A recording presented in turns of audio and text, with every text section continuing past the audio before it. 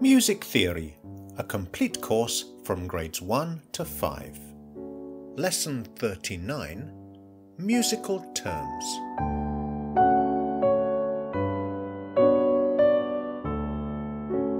Here is a list of all the terms you will need for a grade 3 music theory exam.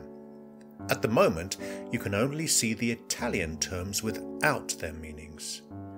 But if you head over to our website, music-online.org.uk, you can reveal the secret hidden answers by left-clicking and then dragging your mouse to the right of any term. It works on mobile devices too by tapping and holding the screen next to any term.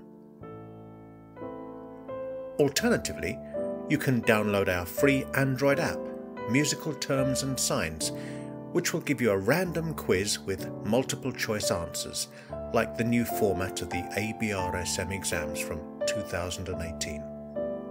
So why not give it a go and see how many terms you know?